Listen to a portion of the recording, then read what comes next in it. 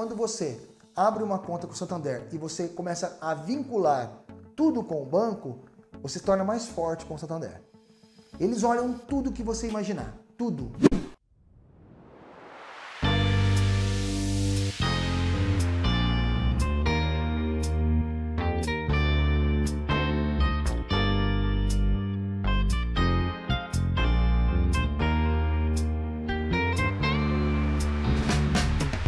Vamos lá, gente. Santander. Limites. Coloquei todos os cartões aqui, mais, mais ou menos todos, né? O NIC, Amex, Elite, vale para todos, tá? Sobre falar de Santander Limites, eu vou pegar aqui a minha experiência com o Santander de alguns anos, né? Desde a época que eu sou cliente do Banespa, Banespa, Banco Real, Banco Real Santander, tá? Então, é, na verdade, Banco Meridional também, eu fui cliente do Banco Meridional, não sei se vocês conhecem, Banco Meridional, virei Banespa, virei Real e virei Santander. Pois bem, buscando esse caminho dos cartões do Santander, eu trouxe aqui um, um, uns exemplos aqui, por exemplo, o Elite, Unique, Smiles, Unique Black, American Express do Santander, entre outros cartões aí que nós temos do grupo, o Limited, entre outros mais, tá? Independente é, de qual seja o seu cartão, as regras são as mesmas para clientes do banco, tá? O que eu vou falar para vocês aqui é baseado como eu cheguei a ter esses limites com o Banco Santander, como que eu fiz para poder ir aumentando meus limites com o banco, tá? E aí vocês traçam também aí com vocês as estratégias para que vocês consigam. Apesar que, deixa eu já adiantar para vocês, que o Santander nesse momento devido à situação que aí está com o país, referente à inadimplência, juros altos, eles estão um pouco mais seguros. Então, está sendo muito comum você ouvir o cliente falar assim: ah, eu estou aí há meses sem ter crédito, o banco não libera nada, atualizei minha renda, não mudou nada, consegui atualizar minha renda no ON, não fez nada e não vai fazer mesmo. Tá? Já tivemos uma live aqui mostrando que mais apenas 20 e poucos por cento tiveram aumento de limite com Santander durante atualização, o restante não teve. Né? E hoje mesmo no canal do Black Card Luxo, vários membros do canal atualizaram renda, a renda foi para 45, 50 mil, não houve nada de mudança. Tá? Eu mesmo tive a renda atualizada, não teve mudança nenhuma. O que chegou para mim, agora o que eu posso dizer para vocês é o seguinte, é, pode ter sido a renda que foi atualizada e o banco me deu esse cartão aqui, o American Express que eu mostrei para vocês, e pode não ter sido esse efeito, pode ter sido o efeito de eu ter tido uma renda é, melhor é, e a movimentação com o banco e o relacionamento que eu tenho com o Santander. Né? E, de, e outra, eu não busquei, eu, esse cartão aqui é o do Santander, tá? Que eu vou receber esse daqui. Para mim, esse cartão aqui é, do Santander, esse Gold, é como brinquei com o João Maria é para mim, para mim, Leandro, é como se ele fosse um SX. Porque serventia nenhuma. Nenhuma, tá? Ter um cartão desse daqui, para mim, é como se eu não tivesse nenhum cartão, porque ele não me traz nenhum benefício que eu precise. Nada. Esse cartão não me traz nenhum benefício do que eu preciso. Pontuação baixa, é, esfera, eu já tenho cartões para esfera. O Platinum talvez um pouquinho melhor, mas para mim também não serviria, mas não tem problema. O que vale é que é, as regras estão valendo para todos, tá? E aí eu posso contribuir com vocês com esses assuntos, tá bom? Maravilha? Então vamos lá. O Santander, quem tem relacionamento com o banco, né, sabe muito bem que no varejo, no Van Gogh ou no Select, quanto mais eu crio um vínculo com o banco, mais forte eu me torno com o banco. Né? Então, quando você abre uma conta com o Santander e você começa a vincular tudo com o banco, você se torna mais forte com o Santander. Eles olham tudo que você imaginar, tudo.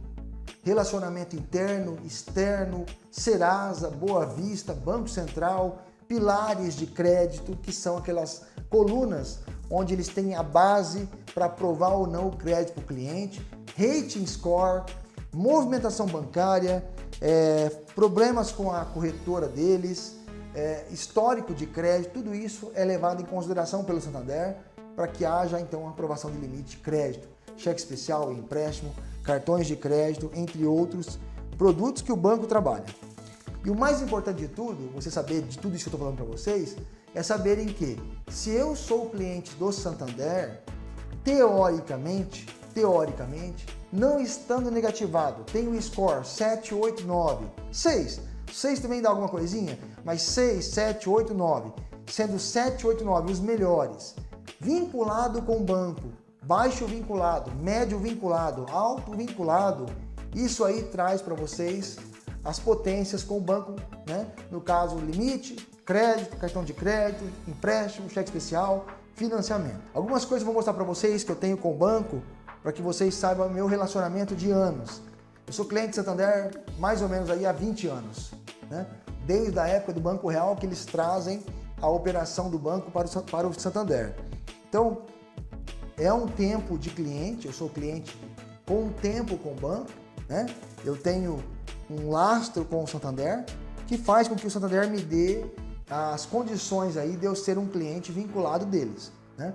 Eu tenho com o Santander o Limited, eu tenho com o Santander é, o Limit Infinity, o Smiles e o Advantage também. Então eu tenho esses quatro cartões. Advantage eu não pago anuidade, o Smiles eu não pago anuidade, é...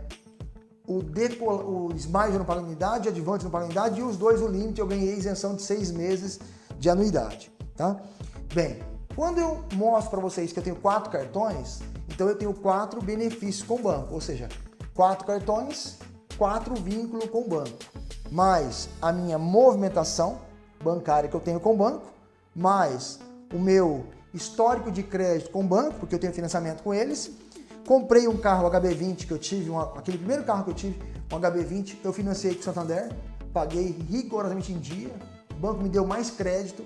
Se eu quiser pegar outro carro sem entrada, eu clico aqui no aplicativo Financiamento Santander e eles vão me dar 100% financiamento do carro de graça sem pagar a primeira entrada, por exemplo, devido ao meu relacionamento com eles.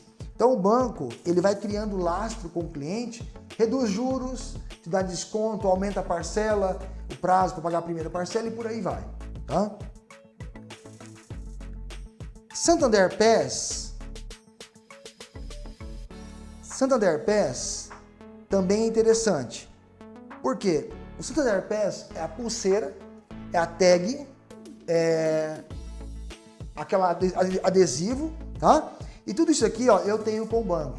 Então vocês observam que eu tenho relógio, eu tenho a tag, eu tenho pulseira, pulseira, então eu tenho a pulseira black, a pulseira vermelha, eu tenho adesivo, eu tenho a, o espelho do relógio e eu tenho a, aquela pulseira é, mais fortinha deles aí, que é essa primeira aí.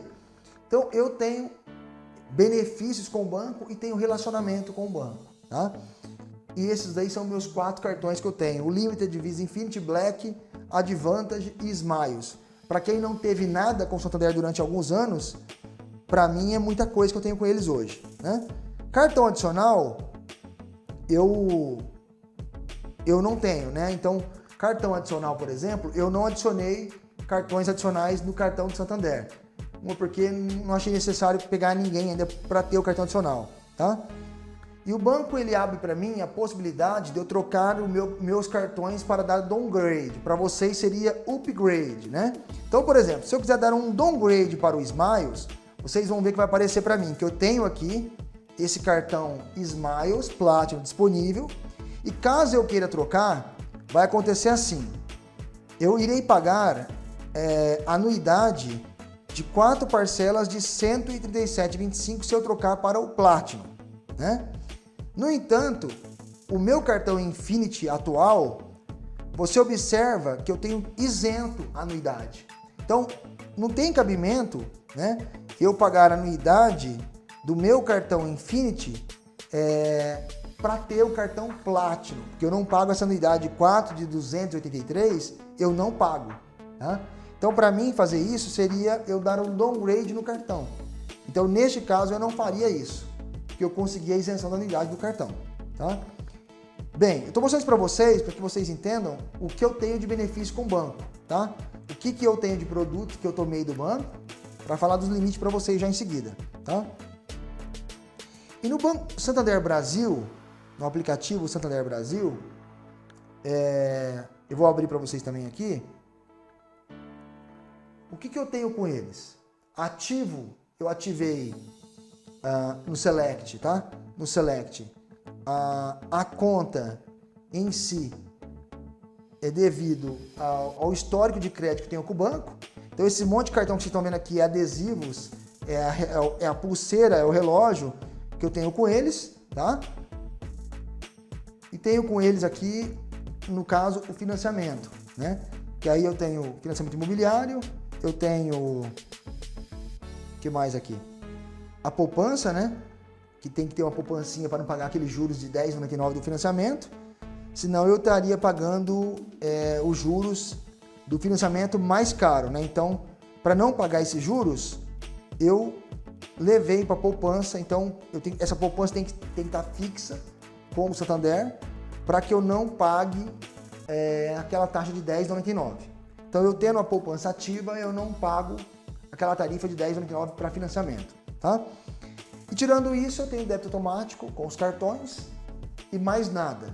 Tá? Então, financiamento, cartões, débito automático, a corretora, eu tenho lá 100 reais de lastro e tenho a poupança devido aos juros que eu peguei de financiamento naquela época, que estava muito boa. Pois bem, eu sou um cliente rating 7, médio vinculado. Por que médio vinculado? Porque eu não uso a conta do Santander como eu deveria. Então, eu, eu, o que eu faço ali? Pago o financiamento imobiliário, pago os cartões e não entra mais nada. Eu não pago água, luz, telefone, IPVA, seguros, não tenho isso. Então, o banco sabe que eu não sou um cliente, que eu fico usando a conta 100%. Ele sabe disso, né? Mas eu sou um cliente vinculado. Eu tenho lá o rating bom, 7, não é o melhor, mas é um 7. Tenho os financiamentos e cartões que eu uso e pago em dia e o banco sabe quem, é, quem, é, quem sou eu. O meu histórico está ali. E baseado na forma que eu uso o cartão consciente, o banco pode me dar mais crédito via SMS. Olha, devido ao seu bom relacionamento com o banco, estamos aumentando o seu limite dos cartões. Isso acontece.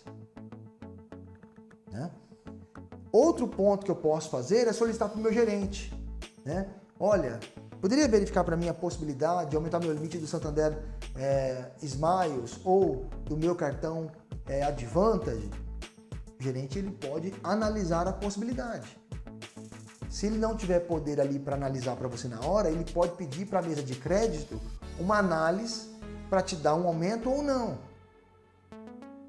Mas eu falo para vocês com toda a, proeza e propriedade. Cliente vinculado com o banco, que tem relacionamento, não estar com o nome sujo, não estar endividado, dificilmente o banco nega. Dificilmente o banco nega. Se você não tem crédito tomado na praça, você não tem altos limites de cartões espalhados pelo Brasil afora, e você estar com a renda comprovada, você está com o movimento atualizado, você pede uma renda, um limite, dificilmente você não será atendido.